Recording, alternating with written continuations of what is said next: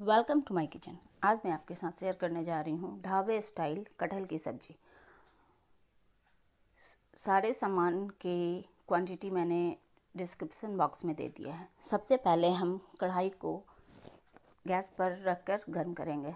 जब कढ़ाई गर्म हो जाए तो उसमें हम दो करछी तेल, लगभग 75 से 100 एम तेल को डालकर गर्म करेंगे। जब तेल से धुआँ आने लगे, यानी तेल का झांस लगने लगे, तब हम उसमें दो से तीन तेज़पत्ता, दो सूखी लाल मिर्च, एक बड़ी इलायची, एक से डेढ़ इंच दालचीनी का टुकड़ा, दो से तीन हरी इलायची, चार से पाँच लौंग और आधा फूल जायफल डालकर उसे तेल में अच्छी तरह से चटकने देंगे।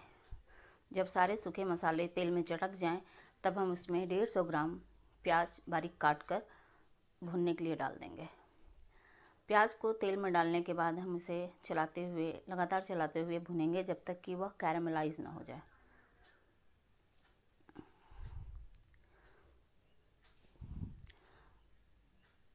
मसाले हमें मीडियम फ्लेम पर फ्राई करना है। मीडियम फ्लेम पर थोड़ी थोड़ी देर चलाते हुए हम प्याज को कैरमलाइज होने तक पका लेंगे। जब प्याज अच्छी तरह से कैरमलाइज हो जाए, तब हम इसमें ड्राई मसाले डालेंगे। सब्ज़ी में डालने के लिए हम डेढ़ सौ ग्राम प्याज लिए हैं तो हंड्रेड ग्राम टमाटर, दस से पंद्रह कलियाँ लहसुन और हर, दो से तीन हरी मिर्च आप अपने तीखे खाने के अनुसार लेंगे। मैंने इसमें दो हरी मिर्च लिया है, क्योंकि मैंने इसमें सूखी लाल मिर्च डाला है और मिर्च पाउडर भी डालूँगी। आप अपने तीखे खाने के अनुसार मिर्च बढ़ा सकते हैं, घटा सकते हैं। इसे हम ग्राइंडर में बारीक पेस्ट बना लेंगे। अब हम प्याज भुने हुए प्याज में सूखे मसाले डालेंगे। इसमें मैंने आधा चम्मच हल्दी पाउडर, एक चम्मच चिकन मसाला, एक चम्मच किचन किंग मसाला और एक चम्मच कश्मीरी लाल मिर्च मिर्च डाला है। कश्मीरी लाल मिर्च डालने से सब्ज़ी का कलर बहुत अच्छा आता है। यह सब्ज़ी को तीखा ज़्यादा नहीं करता है, सिर्फ़ कलर अच्छा लाता है, इसलिए मैंने इसमें एक चम्मच कश्मीरी मिर्च डाला है। अगर आपके पास देगी लाल मिर्च हो तो अपने तीखे खाने के अनुसार कम या ज़्यादा डाल सकते हैं। अब इन सारे सूखे मसालों को डालकर हम हल्का चला लेंगे। अगर आप टमाटर को काट कर डाल रहे हो तो इस स्टेज पर प्याज और सूखे मसालों में थोड़ा सा पानी डाल दें, नहीं तो सूखे मसाले बर्न हो जाएँगे। मैं यहाँ थोड़ी देर सूखे मसाले को भूनूँगी ताकि उसका कच्चापन ख़त्म हो जाए।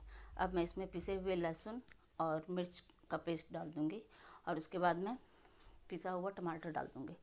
मैं अदरक का इस्तेमाल नहीं करती हूँ। अगर आपको अदरक खाना पसंद हो तो आप इसमें एक इंच अदरक का टुकड़ा भी हल्का दरदरा या कद्दूकस करके डाल सकते हैं। अब हम इसमें इस मसाले को अच्छी तरह से चलाकर पाँच मिनट तक पकाएँगे। लगभग पाँच मिनट लगातार चलाते हुए पकाने के बाद हम इसमें नमक ऐड कर देंगे।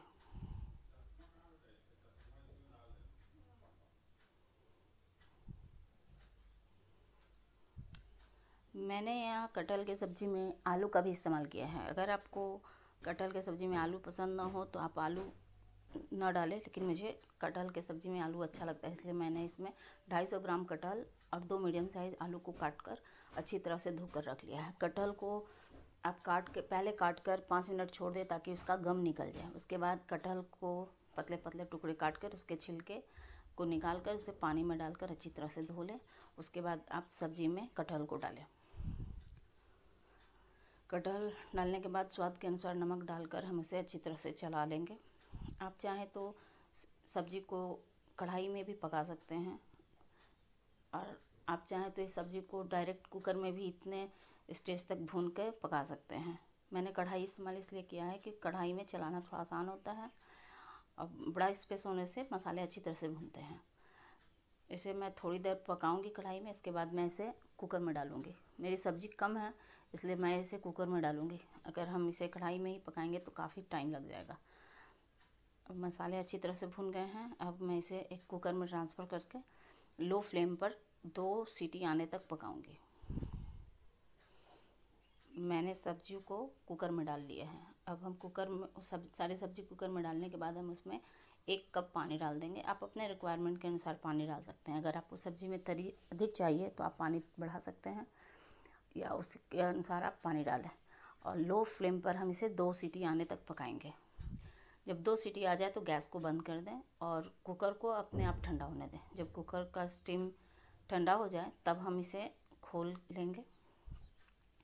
कुकर खोलने के बाद हम इसमें आधी चम्मच गरम मसाला और कटा हुआ हरी धनिया डाल देंगे।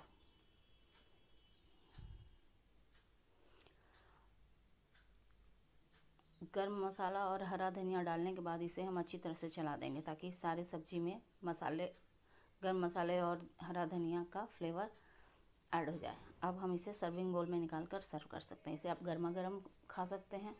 ये सब्ज़ी आप पूड़ी रोटी नान पुलाव और चावल के साथ खा सकते हैं। ये खाने में बहुत ही स्वादिष्ट लगती है।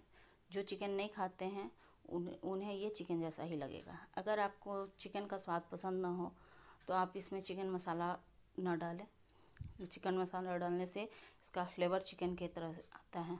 तो इस तरह से आप कटहल की सब्ज़ी बनाकर खाएँ, आपको काफ़ी पसंद आएगा। धन्यवाद।